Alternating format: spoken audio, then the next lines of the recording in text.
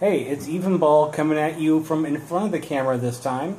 Today we are going to be uh, modifying this VIC-20 for S-Video playback. Ordinarily the VIC-20 only has composite playback or at least RF playback, but if you modify this, you can get S-Video from out of the video port right here the chip inside actually natively supports S-Video, but they dumb it down for older televisions. So, I will show you exactly what we're going to be doing to do this modification. There are already some instructions online on how to apply this S-Video mod. This one from sleepingelephant.com shows one for a common motherboard revision called a revision N. My motherboard's a different revision, but the same basic principle applies. From the factory, the Chroma and Luma signals that would normally make up the S-video signal are connected together instead of being apart. Now we are going to sever that connection with this modification. Okay, well I have the motherboard of my VIC-20 out on the desk here, and I have a Revision F motherboard. Now most of the online tutorials show a Revision N motherboard, and uh, that's a lot newer than this one. However, this one looks like it will lend itself to the mod very well. Basically, what I have to do is connect pin 2 of that chip to this capacitor and then this 75 ohm resistor and then connect that to this no actually it's this one this pin on the uh, DIN 5 connector Okay, as you can see, I have finished the mod here, and I started by pulling out four components. First one I pulled out was FB9 over here, a little inductor, and right next to it is a small capacitor that goes straight to ground. I decided to pull that one out as well.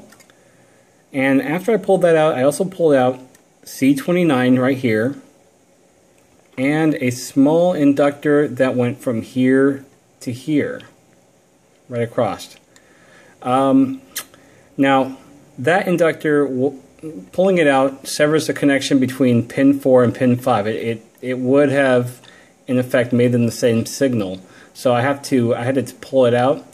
And what I have done is I put in a small capacitor right here, the 0.1 microfarad capacitor, and I put in the 75 ohm resistor right here because this connects, it jumps over to here and but the resistor, instead of plugging it in here, I've, I have it spread out all the way to here where I have pulled out the, the small inductor. And this goes directly to our pin 5 of the AV pinout. This jumper here supplies pin 4 of the AV pinout, and this is basically our Luma signal, and this is our Chroma signal.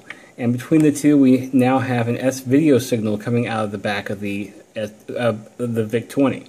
So now all I need to do is make a custom cable and then we're finished. Alright, now I'm done with the cable and this is what I've come up with. It's a little bit short but I can lengthen it. This has a DIN 5 connector on the end of it. I purchased this at Fry's. It's just a small kit. It's only about 99 cents. And I purchased these two cables at a, uh, at a thrift store at some point, and uh, these were just scrap that I had left over from other projects. So I just put them all together, and I have this beautiful cable. And now we are ready to play some games. Okay, I have some games here. Let's start off with K-Star Patrol from CBS Software. This is a kind of a fun little game. You are it's a shooter. It's a horizontal. Well, yeah, it's a uh, it's a horizontal shooter and you are trying to protect a fleet of spaceships. Each one that gets killed is, is one out of your uh, one out of your reserve killed. So you're trying you, you have to keep them alive as long as possible and rack up points. And it's uh, actually quite a bit of fun. I've uh, played it for a few minutes here and there, and I've had quite a bit of fun with it. Okay, and the next game is Voodoo Castle.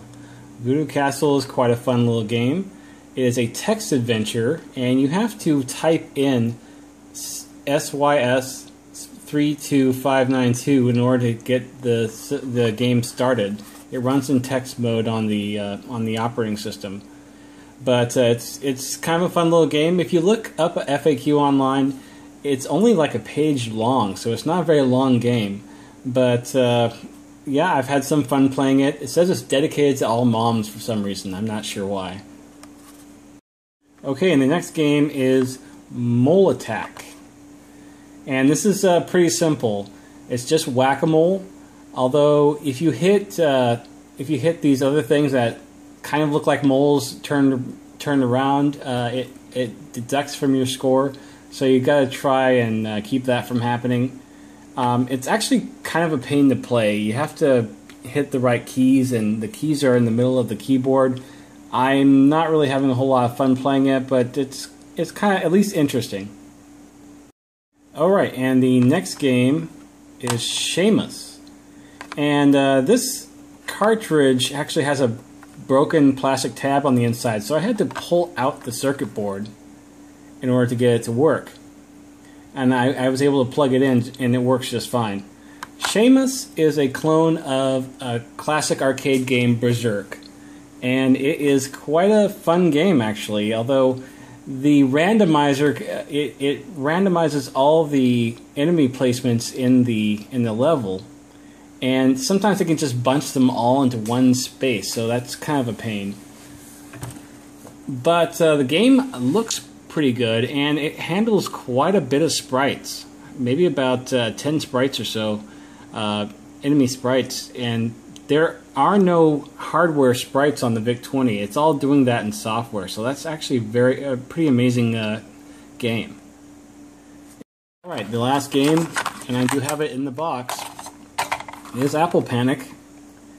And Apple Panic is, uh, well, it's it's a maze game like Lode Runner, uh, it takes a lot of after Lode Runner, but it's actually kind of a pain to play.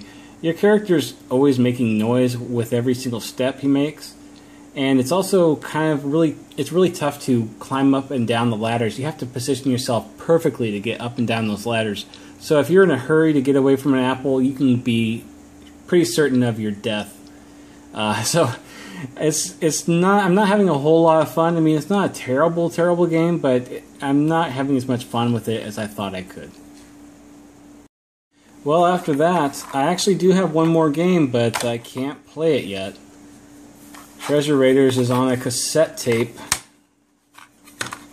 and uh, I'm having a lot of trouble finding out anything about this. I can't find any footage of it online, and I, I downloaded a pack of games for the VIC-20, and I couldn't find this in that pack of games either.